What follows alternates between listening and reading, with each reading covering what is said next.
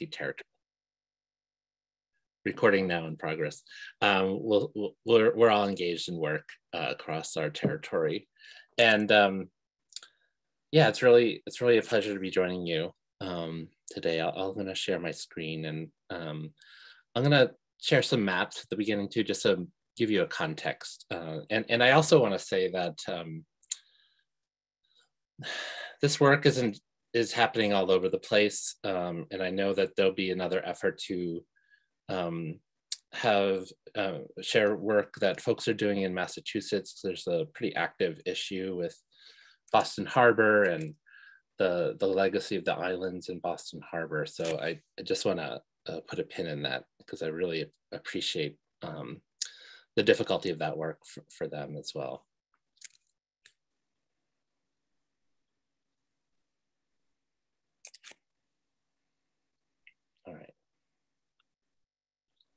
So hopefully people can, hold on, I have to.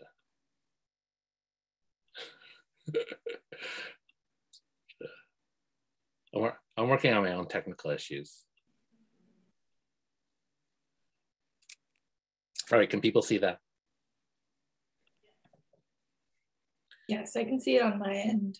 Is it okay on the in-person MIT side? I think Megan that was a thumbs, thumbs up. up. Okay. I'll take a, a, lack of comment as compliance.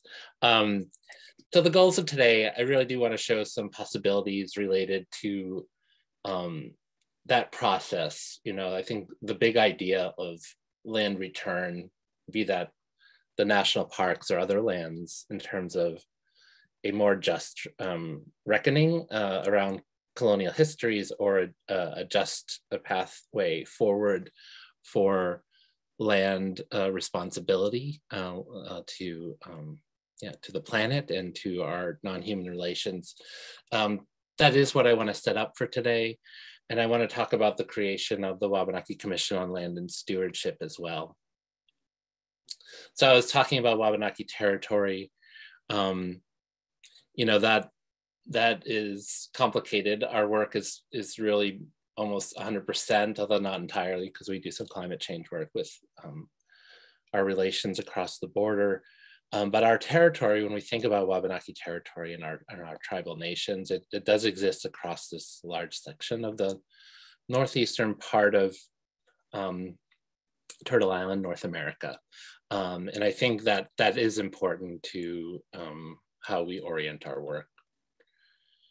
I don't have time in 10 minutes to go into all the very complicated ways and, and um, uh, complicated, maybe, you know, evil or deceptive ways that our land um, was uh, taken from us. Um, this is just one sort of framework that um, uh, enabled uh, land takings by uh, the state of Maine and others. But um, yeah, I just want to uh, um, point that out that, okay, my slides are going off.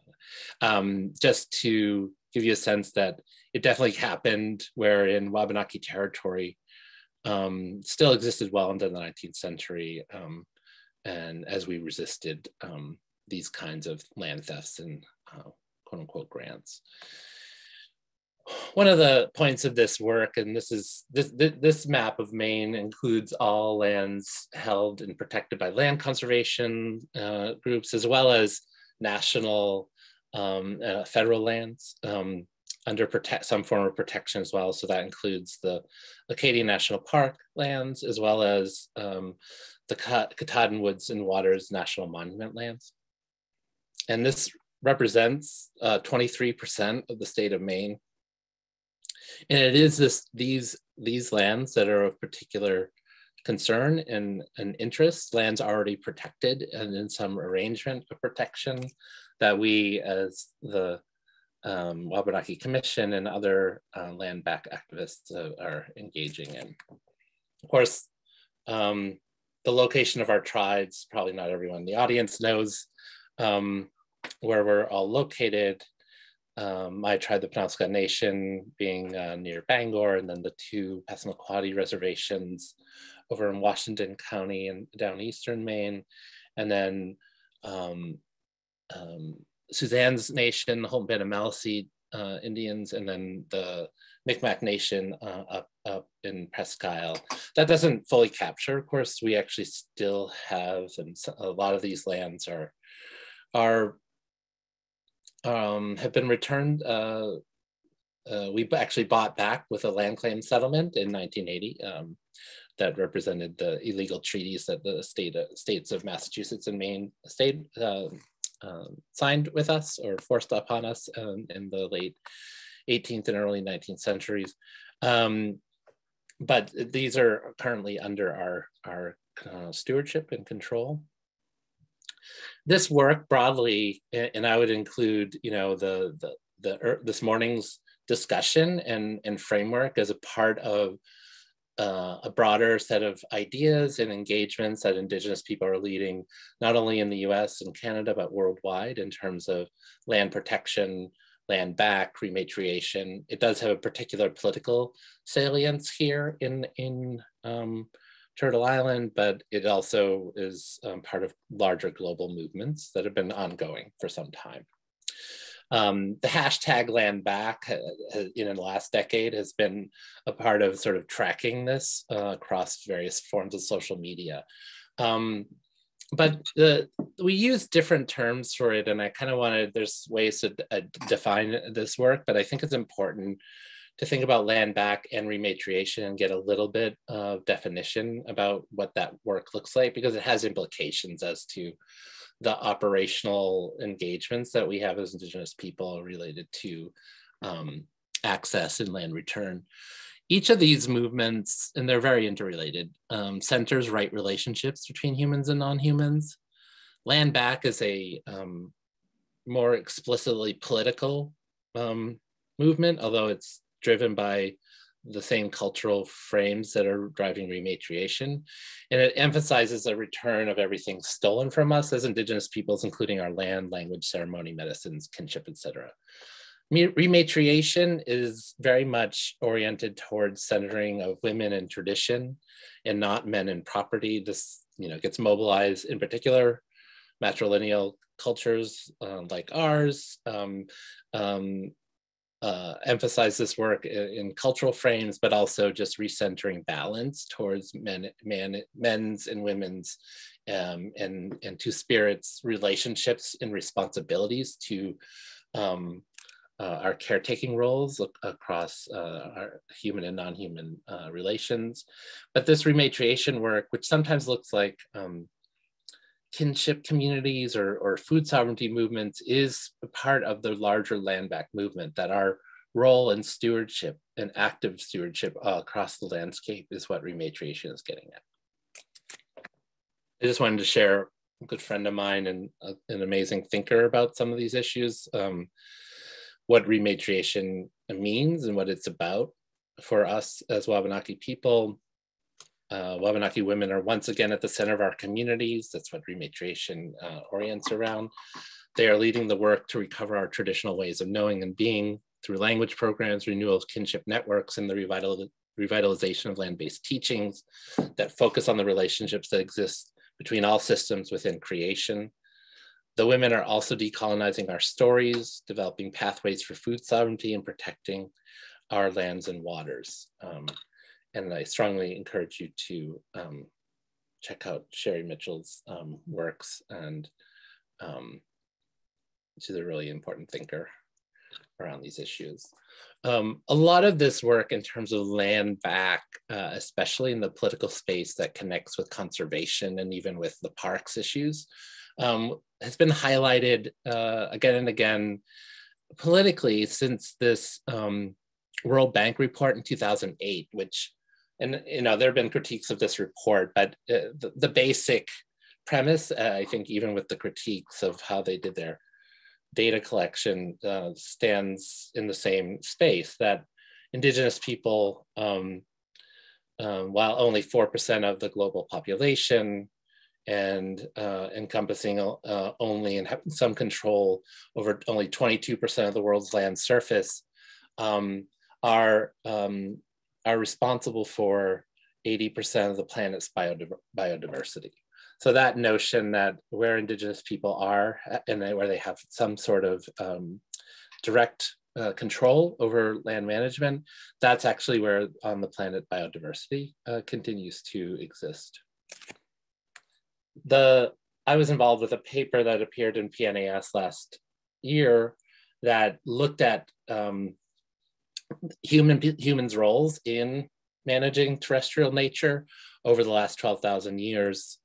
And um, again, as it relates to things like biodiversity, uh, we kind of changed the story that it is just pres presumptively the humans that are the problem in these situations. It's just natural for humans to mismanage or manage poorly and, and attack biodiversity.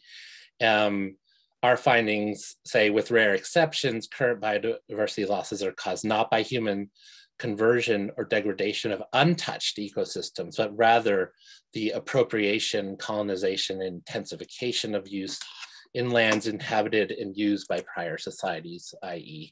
indigenous peoples. So I believe, and others do as well, that indigenous leadership and management and access and engagement is um, a critical part of the future of human beings on this planet.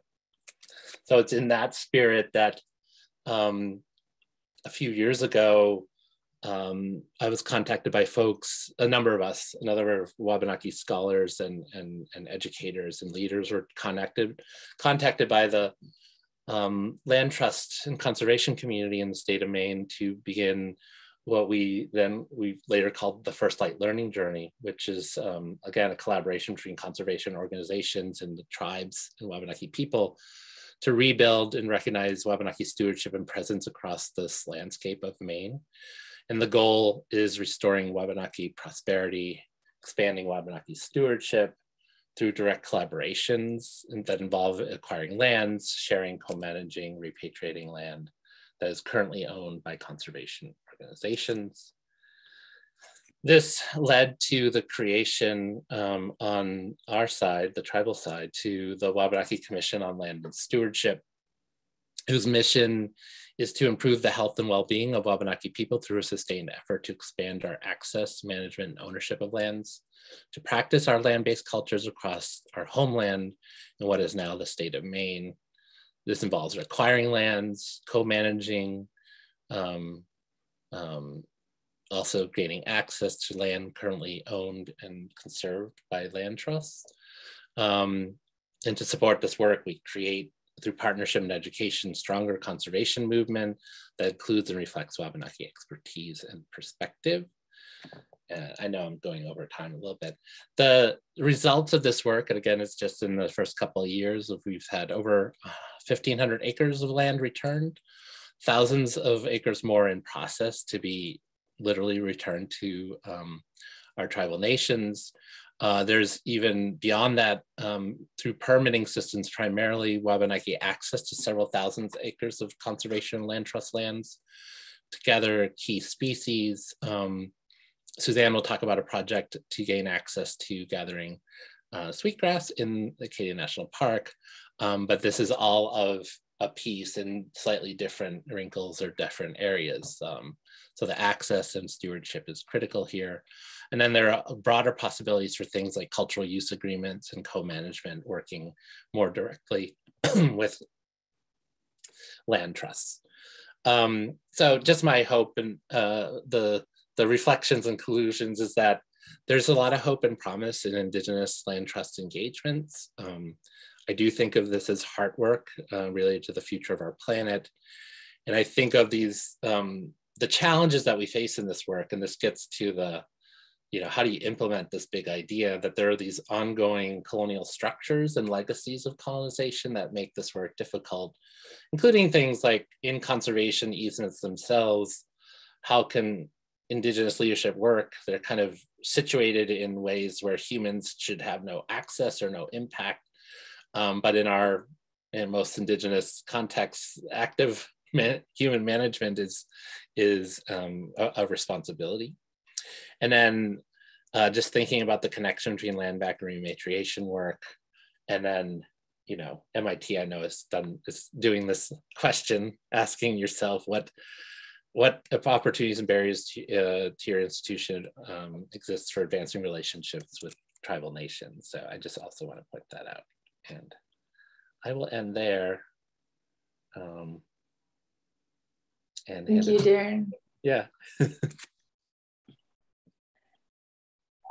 um, awesome. I really like the First Light learning journey and the um, Wabanaki Commission on Land Stewardship and what you guys have already done.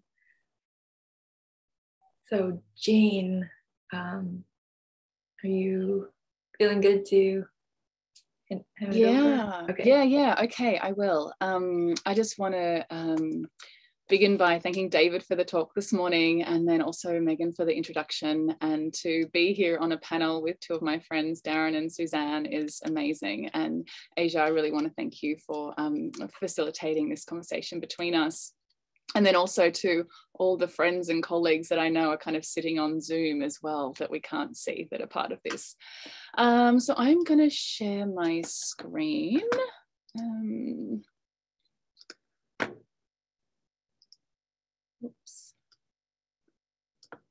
make this happen. Uh, okay, and so before I begin, I want to acknowledge that I'm here in Lenapehoking, the lands of the Lenape nations. I want to pay my respects to the ancestors, to present and emerging Indigenous leaders of these lands and waters. Uh, the Lenape people were forcibly removed from these homelands and now primarily reside in Oklahoma, Wisconsin, Ontario, and New Jersey. Um, so as David mentioned this morning, uh, land acknowledgements are good, but they're small. Um, but it's kind of what they lead to, what they ask as a, as a, as a reckoning that is important, uh, and also kind of what they demand as next steps. Uh, I, I think they're important because they also, or they can be um, temporal prompts forward uh, for change, for rights, for Indigenous sovereignty. Um, I want to also begin by acknowledging that I am a settler scholar. I come from what is currently called Australia, um, where these kinds of questions of land back, land rights, uh, knowledge return have been part of a condition that Australia has had to be reckoning with for at least the last 40 years. Um, and so these kinds of questions that I've been engaged with and that I'm kind of been um, coming to this conversation with you about um, are kind of a, based out of a larger international context as well as we kind of then get more, more local as we kind of start talking about that. So my focus has been really around the kind of uh, sister project to settler colonial dispossession of lands, which has largely been uh, the colonial taking of knowledge. Uh, what has struck me, and I have a legal background and intellectual property background, um, is really how these bodies of law function as particular tools of dispossession. The how, the how the land gets taken, the how the knowledge gets taken is strategically done through the law. Um, and so one of the challenges that we face, and this is kind of where Darren just ended, was thinking about kind of how do you do the work? How do you undo um, some of the ways in which the law has functioned as this tool of dispossession? What is the kind of change that you can make within these spaces, um, particularly when the law is resistant to any change? And if it's not just resistant to any change, it might kind of also then say that it can actually rehabilitate itself to actually become a tool that supports Indigenous sovereignty. And I think that that is an open question as to whether that is actually possible. So I kind of think a lot about um, the colonial extractive processes of law and kind of what it takes to kind of then re-engage with it or appropriate that body of law or actually just work foundationally outside of the law in order to secure Indigenous rights and interests. So this is um, kind of like the broad strokes of, of the, some of the work that I sit with, which is kind of at this international level around um, what the rights of Indigenous peoples are coming from um, what is kind of standing international law, 2007, the rights of Indig the Declaration on the Rights of Indigenous Peoples. This is just Article 31 that talks about the rights that Indigenous people have around intellectual property. And what you can see within this kind of um, statement here is that those rights are extensive and are not just about um, cultural heritage, but extend into and involve relationships to land, relationships to uh, plants, relationships to knowledge that sits around the land it is notable that um, when Jefferson uh, started the project of uh, different kinds and forms of colonization, particularly westward uh, post the Louisiana Purchase, he also sent um, he set up Lewis and Clark to go uh, westward, not only to document the lands, but to collect plants and to collect knowledge about those lands. To govern those lands, you also need knowledge about those lands, and those knowledge come and came from Indigenous people. So the project that I've been working on for the last 10 years uh, in collaboration with Indigenous communities across four different countries uh, is this one to kind of start putting Indigenous names back into uh, collections, back into archives, libraries and museums that have also functioned as ways of erasing Indigenous names and Indigenous rights through a kind of project of um, labeling or traditional knowledge labeling, which is kind of what we call it. Um, and this project is really strategically bringing Indigenous protocols, in bringing Indigenous permissions, bringing Indigenous provenance information back into these spaces so that they can sit and start shifting how these kind of enormous collections that were stolen and taken from Indigenous lands and waters can come, come can be known as still having Indigenous cultural authority as part of them. So the traditional knowledge labels were really developed to address cultural heritage issues within libraries, archives and museums.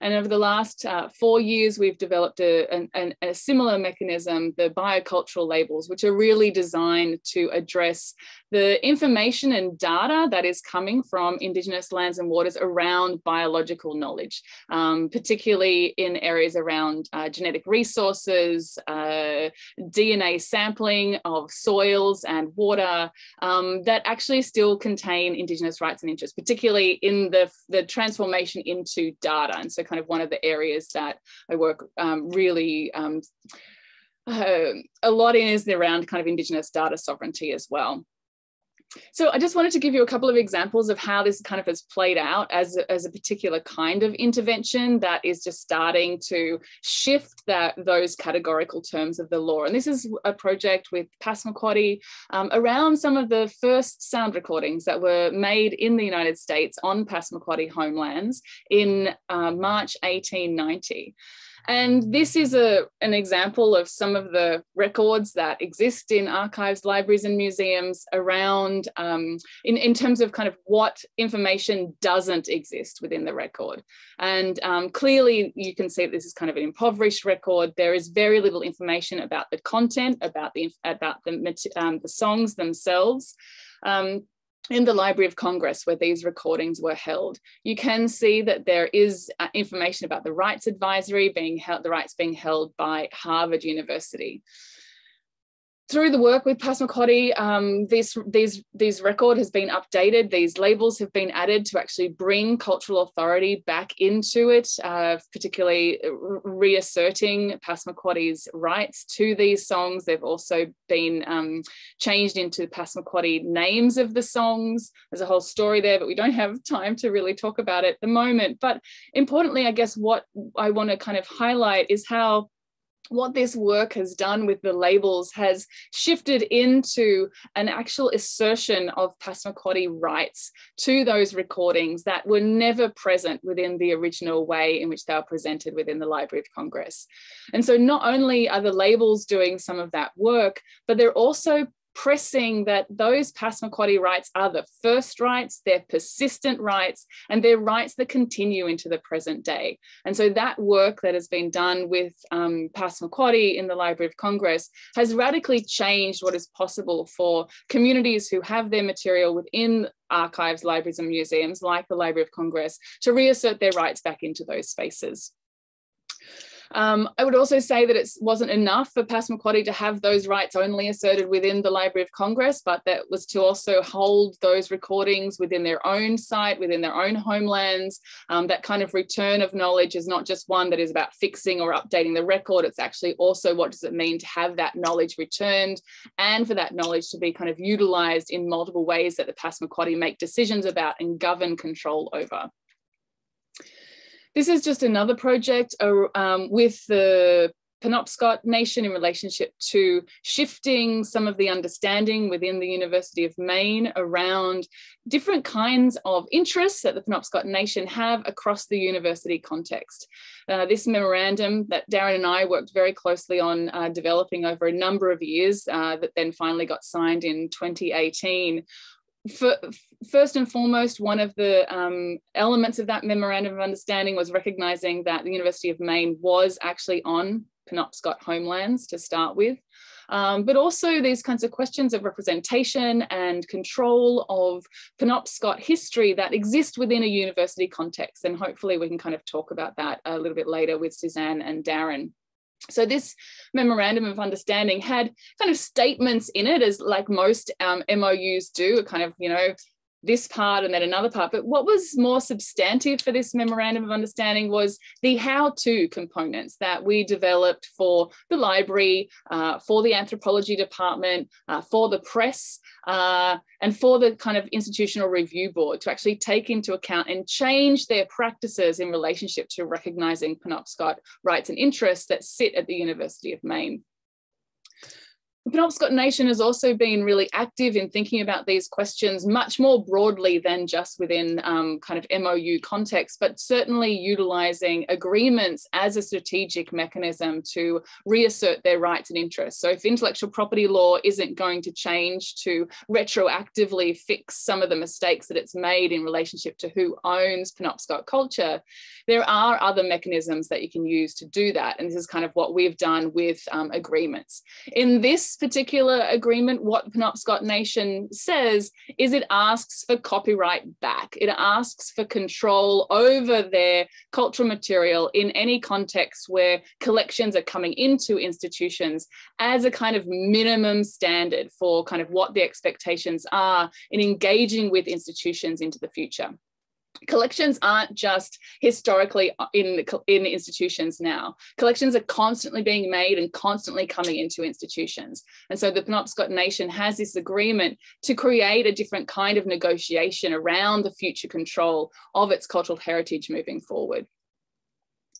So I'm going to end, but I just kind of wanted to put this in um, as a, a, similar kind of provocation for thinking about you know where we're at nationally in relationship to uh, recognition and the value of uh, traditional knowledge, traditional ecological knowledge, indigenous knowledge. And this is a, um, a memo that came out from the Biden administration in 21 that's asking for the recognition and value of traditional ecological knowledge as a significant contribution to science and to understanding particular kinds of ways in which um, uh, different kinds of forms of knowledge have contributed to the United States as a whole. I think what's important about that is that this now exists in that kind of form of recognition. But what is challenging for me in relationship to it is that it doesn't give any kind of guidance in relationship to how Indigenous knowledge would be protected. What are the parameters for Indigenous people in sharing their knowledge within any context, whether that's in relationship to uh, knowledge within national parks context, within uh, cultural heritage context? What does it mean to actually protect and support Indigenous sovereignty around knowledge control? And how do you actually go about doing that?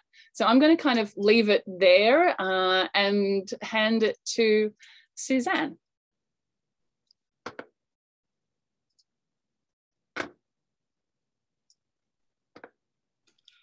Thank you. Can I just start? Is that what we're doing?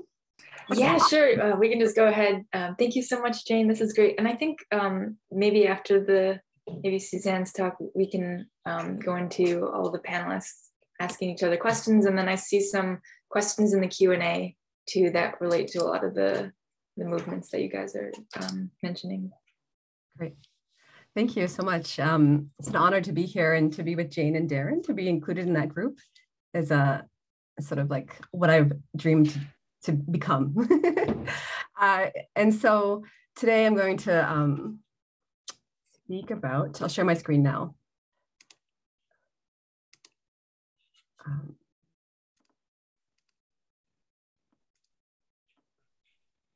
so a specific project that Darren briefly mentioned in his presentation, and um, So we are all colleagues. All of us work together in these spaces. And Jane will be mentioned at the end of this presentation and referencing some of the stuff that she just spoke about. So it's really a great sort of funnel down. um, so I'm going to be speaking about restoring relationships, Wabanaki plant gathering in Acadia National Park. And my uh, co-collaborator is Michelle Baumflek with the USDA Forest Service.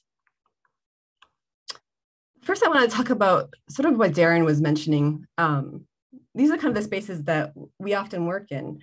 Um, there's land return, which goes back to tribal government, but there's another space of land access that's, is, that's moving forward, right? And so this is a National Park Service. This is where the sweetgrass um, research is happening. And this is under this regulation of um, this plant gathering regulation, right? So this is federally recognized tribes can now enter into, uh, from two, six, it was in 2016, they can enter into plant gathering agreements with, with um, yeah, tribes and national park. And it is a little bit of a, it's quite a bit of a challenge for us because um, in this regulation, there's an environmental assessment is required for any species gathered with a, a finding of no significant impact, right? Um, similar with land trusts, as Darren mentioned, these conservation easements, these legal um, agreements that make it really challenging for Native people to be on the landscape and to harvest. Oftentimes, land trusts have federal funding for land acquisition that they receive, and in that, they have certain conservation regulations, right? So, one of the questions that we've been recently asked when we go to land trust is um, what is the sustainable harvest limit? That they are they're required to state the sustainable harvest limit to allow uh, indigenous harvesting.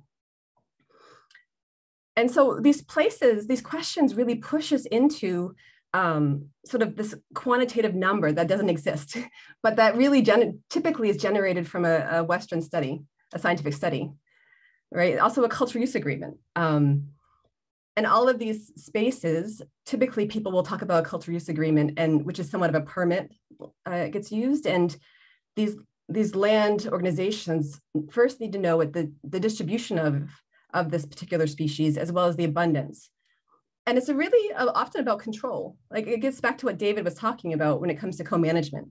Co-management usually reside, the control usually resides with the organization to define, determine um, all of these steps needed before we can harvest. And they, and especially National Park, will often say, we want to use the best available science to make informed decisions. Um, and that's extremely problematic for us.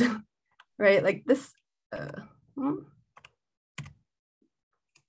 I can't move forward for some reason. Oh, there. And this study came out in 2018, um, a global assessment of Indigenous community engagement in climate research. So it's specific to climate research, um, but it ranked studies that included Indigenous knowledge on a scale from contractual to Indigenous. And contractual was where Native people performed tasks, but researchers made all the decisions to Indigenous, where the process was centered around Indigenous values systems. Um, and were community members had authority within the research process. And they found that 87% of those studies practiced this extractive model, so the contractual approach, right? And outside researchers used Indigenous knowledge with minimal participation or decision-making authority from the communities who hold them, and few reported outputs that directly serve Native people. So, like what Darren says, that we are both value Native knowledge and are aware of the stewardship, the stewardship's approaches increase biodiversity. And we want to include them as scientists want to include them, right? We hear that all the time in climate research, but yet the way we, or way that scientists include them often, um, it, it does, it's, it's an extractive approach, but doesn't actually maintain any sort of integrity of knowledge or the people or respects the people who generate this knowledge. So when it came to the sweetgrass study under the, the new federal regulation, uh, sorry, new federal regulation in 2016, um, there was a question on how, how would that work with the Acadia National Park and Wabanaki Nations?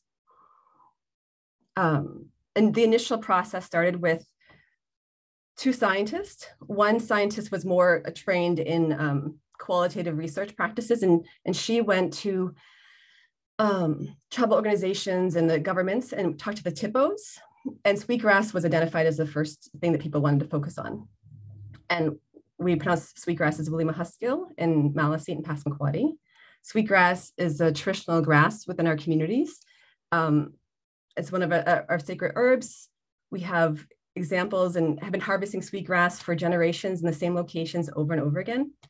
Um, it's a very important um, cultural medicine for us. And we're also dealing with reduced access because these were coastal spaces that are now being, um, you know, denied access to, you know, uh, a lot of private property ownership in these spaces that we're struggling with. So what this process was was really the goal was to increase access for sweetgrass, right?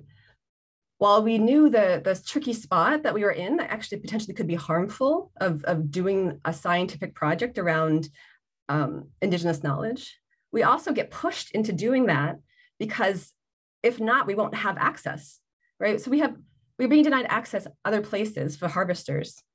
And this opportunity arises that we try to manage our way through.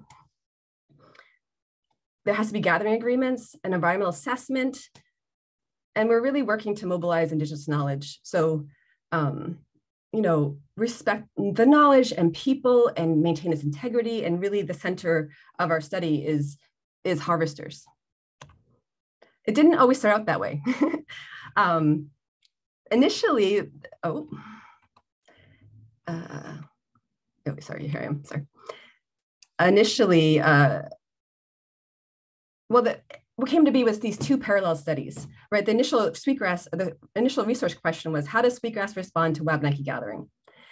And these two studies came about um, where one was much more approach was a scientific method. And this is the typical study that we see within that um, biophysical researchers do. This was like what I was trained in oftentimes when I was younger.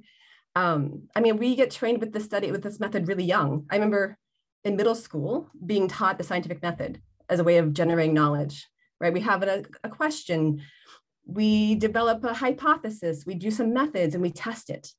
Um, and we, we um, report the results there's a lot of power that resides within the scientist in that process. And it's really problematic for native knowledge and native people, right? And so we have one approach that was kind of taken, taken this way. And then we had a, a parallel study that did indigenous research methodology approach, where native Wabanaki worldview is centered. Wabanaki people are the ex, considered experts um, or are the experts of sweetgrass gathering. There's a relationality. So the researchers in the study are also with the with the sweetgrass gatherers themselves. So there's no separation, um, as well as reciprocity. So um, there's always this um, ensuring that our we address what people are talking about, that we give back, that there's always outcomes that directly benefit web Wabanaki sweetgrass gatherers. So how this played out in methods is here. This is the botanist-led methods, what we'll call the scientific method approach, where the botanist identified distribution of sweetgrass, he identified the abundance of sweetgrass based on his perception of abundance. He developed this sort of systematic approach to measure sweetgrass. Was he developed these, these boxes based on his um, idea of abundance, his assumptions of abundance, and um, he told harvester, or the idea was tell harvesters where to go. So there was predetermined harvest locations for the harvesters. The harvesters showed up. We told them where to harvest, and we said this is going to be an annual or biannual harvest approach here regardless of what they said. and their sweetgrass stems were going to be counted for the pre and post harvest in following years. There's a lot of issues with that. There's a lot of cultural protocols that were being broken in that in that approach. And so this is how another approach was developed, where the Wabanaki, Wabanaki harvesters just led their, their approach, right? So harvesters showed up, they chose location, they chose where the plot location. So they chose general location and then they went to the specific location, was like, I'm gonna harvest here please set up this one meter square plot. That became these permanent measurement plots. And then the harvesters chose their strategies as well. So they would say, here, I'm going to harvest hard, and I wouldn't come back for, here for two years. But here, this area, because of these reasons, I'm going to only harvest a little bit and I can come back every year. And then the sweetgrass was, the stem counts were, were measured within that one square meter plot for um, a pre and post harvest in one year and then two following years afterwards and these are some differences in the research approach. I mean, this is like really like the 10 minute version of this of this study. It's a, it can be a longer one, but um, the, the map on the left is shows the sort of the botanist approach, which is in, the orange box in the transect. right, where, where it was said the harvesters had to go there to harvest. The pink areas where harvesters wanted said this was ideal sweetgrass. I would never harvest anywhere else but here. And these were the two um, harvest plots with a control plot where nobody harvested. We just measured, we kept a permanent plot there where nobody harvested. This is a visual differences as well, you can see. So the one on the right is where harvesters chose to harvest, and the one on the left is where they the botanist-led transects were. So there's a difference in a visual difference in quality, a visual difference in landscape, uh, the sort of the components of that area. Um, Native people knew, obviously, knew where to harvest sweetgrass. They wanted to go where these ideal locations were. Um, but in the sort of controlled study, they wouldn't, they weren't being allowed to express that. And our preliminary results show that indigenous led plots, the stem density increased by 30%. Um, and in the botanist led plots, the sweetgrass population stayed the same. It didn't decrease, but it also didn't increase. You know, but what I find most important about the expression of indigenous knowledge or led methods is the expression of the knowledge, right?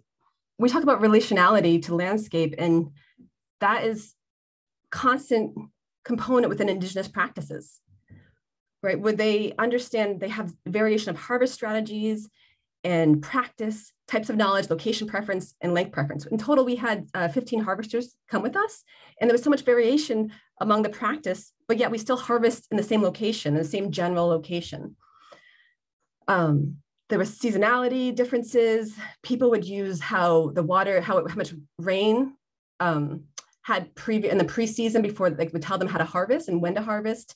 Um, you know, the relationship to the sweetgrass and harvesting, that in their practice, in the freedom of their practice, the relationship to the grass itself could be expressed, as well as to the landscape. And so the components of reciprocity within our project, um, we have this with the harvesters, we have a kind of established a working group. We call it an advisory sweetgrass advisory group to struggle through that permit process I talked about, the cultural use agreements.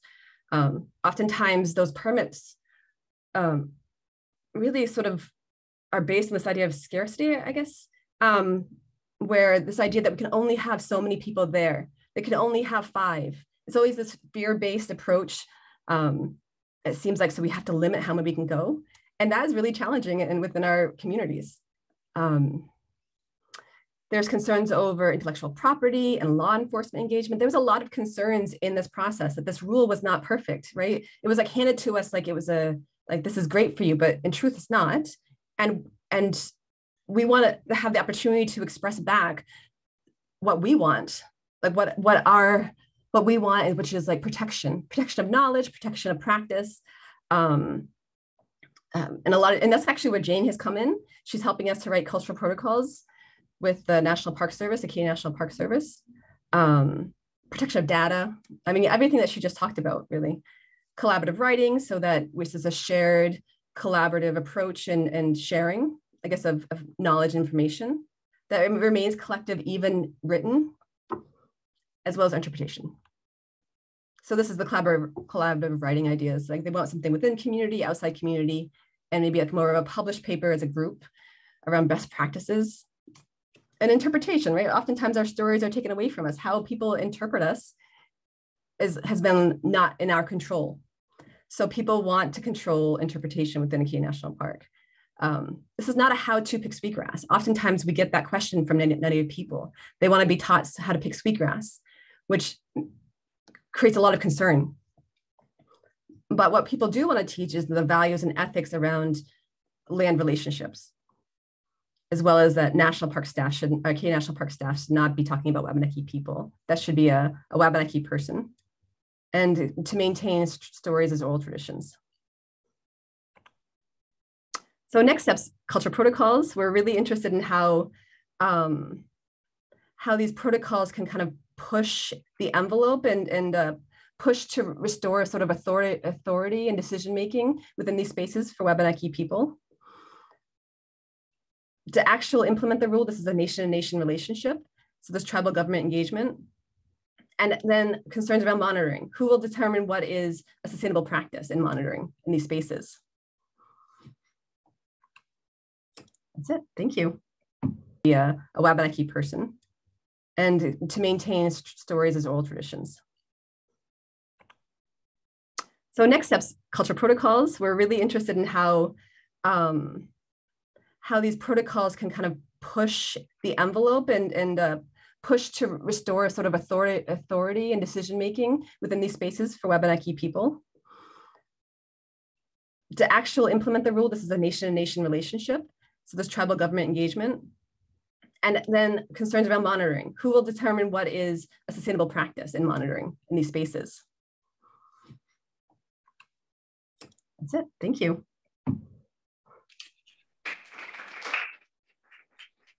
Thank you so much, Suzanne. Uh, how do I stop sharing?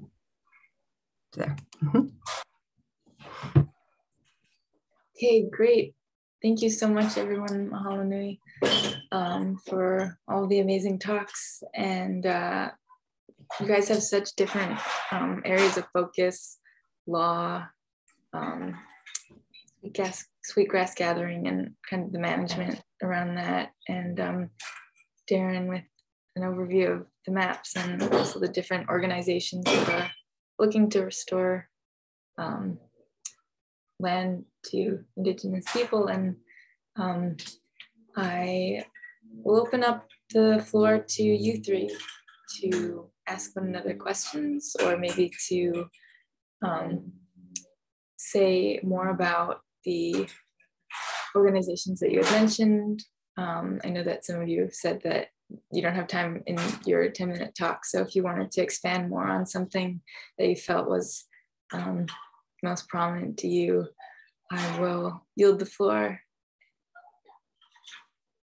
Yeah, you know, I guess, you know, what I wanted to say and just to, to bring it back together because um, the, the issues around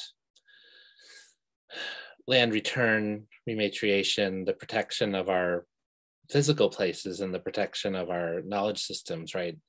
These are e these are equally challenging and and required um, uh, sites that we have to engage uh, as Indigenous people to enact the work that that David, you know, I, I think he labeled himself as an ideas guy. So let, us we're, we're closer to the implementation of those ideas, right? Which is to say, if we enact this, what might be some of the requirements and and then we're not enacting it in the way that he imagines which is to say you know a, a, completely new structure of authorities which is actually i think we would all call for that in our work right?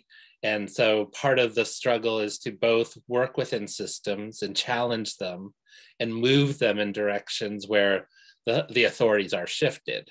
Now i'm an academic you know i'm i am committed and in service to this work as a tribal citizen but it, it is frustrating without the kind of you know i mean i think we have effect right? We do have lands have been returned the sweetgrass, we will be harvesting the sweetgrass in, in Acadia National Park. I have no doubt about it. Um, these studies will facilitate that. We have good friends and partners in the Park Service uh, uh helping with this work.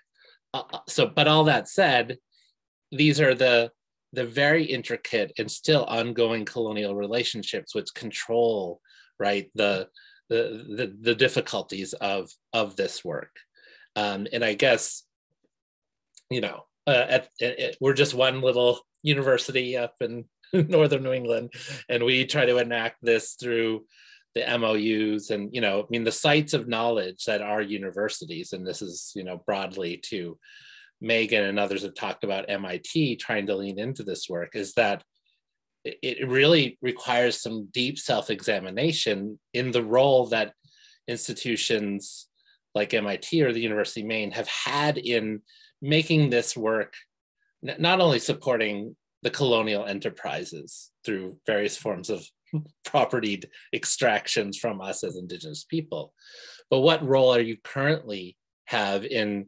maintaining these unjust and unequal structures um, that prevent us from um, stewarding our land? So i think it is a complicated you know once you of course the the details matter and how we engage in these systems and move them is really important.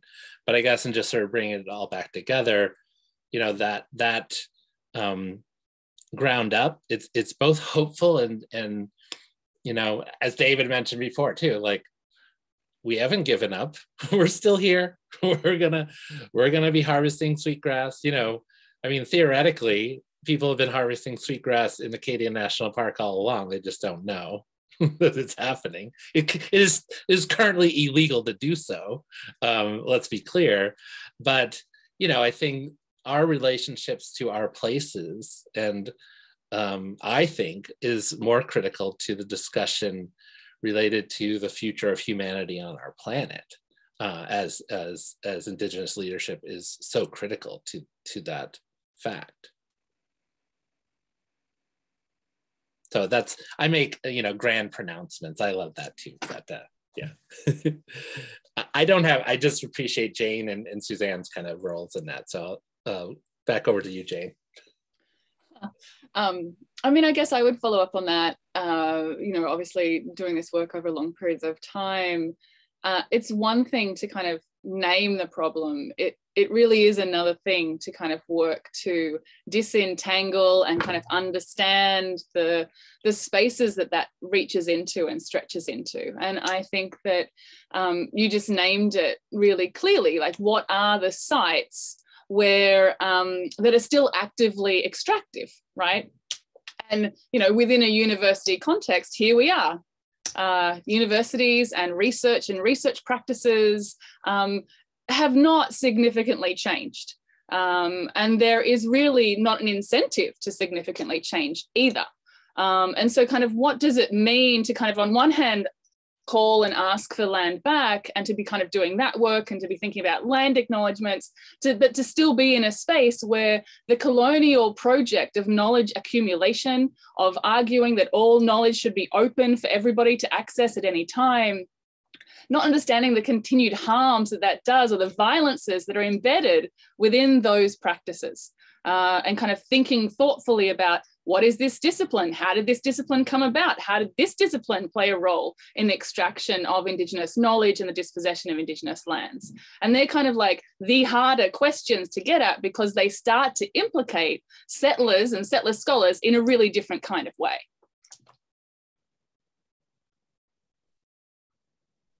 I, I know that we could keep going, which is really amazing. And thank you to the panelists for bringing all of your energy to this. Um, before maybe we close, I just wanted to offer if you had any last words um, of thanks or um, anything you wanted to mention before we um, head out. I just, uh, I mean, honestly, thank, thank you.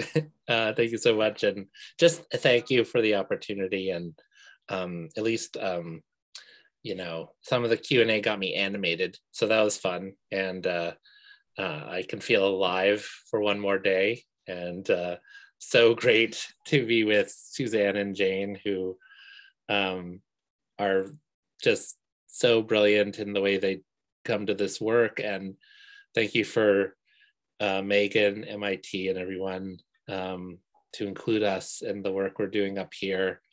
Um, it's uh, you know, I love telling this story because the, there's so much uh, to it and there's so much possibility and it's such um, great work that only we can, we can only do this with each other. Um, and that includes our friends in the park, our friends uh, across different institutions, across all our tribes. And, you know, the, uh, I remember this tweet uh, that I sometimes put in these presentations, you know, the land wants us back too, you know, and I think that's really what motivates me and, and um, thinking about the responsibility and uh, the things I serve. So just thank you so much for including me. Yeah, thank you. I, I do want to say one thing. Uh, I don't know if people have felt it in this presentation, and I have no idea about MIT and, and what the relationship like was with Native communities. Um, but I have I value Darren and Jane so much and how I think in academic spaces can be very lonely for Native people. and um, with a lack of options of how to actually resolve or, or address issues. And, and it, um, being with Jane and Darren makes it less lonely. so often universities, I feel like typically include one to two natives and don't, you know, there's like this lack of something um, and how much my own um, love for my job increases by being with collaborators who can all lift up each other together has been really wonderful. And I hope everybody finds that. um, so I just want to say that as an ending. Thank you. I, I don't really want to have the last word because I feel like that should be the last word. So I'm just going to leave it there. But just thank you. And Aja, thank you so much as well for facilitating and for everything that you've brought to this um, conversation as well. And it's just a pleasure to be having a conversation with two of my favorite people in this kind of context as well. So thanks, Darren and mm-hmm. Suzanne. Yay, thank you. Um, and yeah, audience, thank you for being there. And um, this couldn't have happened with a lot of the generous support of our um, institutional sponsors as well and the ASL and sign language interpreters. And thank you to Megan Black for um, just carrying this whole event forward. We've been working on it throughout the year and um, it has been so beautiful that everyone walks away um, having learned something and feeling something in their gut and uh, I know that we'll move forward to um, change the way that we relate to land and um, how we access the vital sources of sustenance that we need